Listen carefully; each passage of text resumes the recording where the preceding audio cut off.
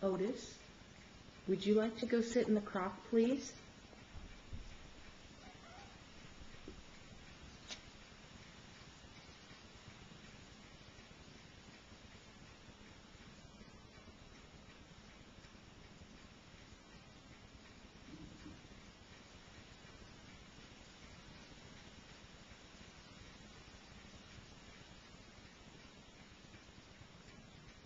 What a good boy.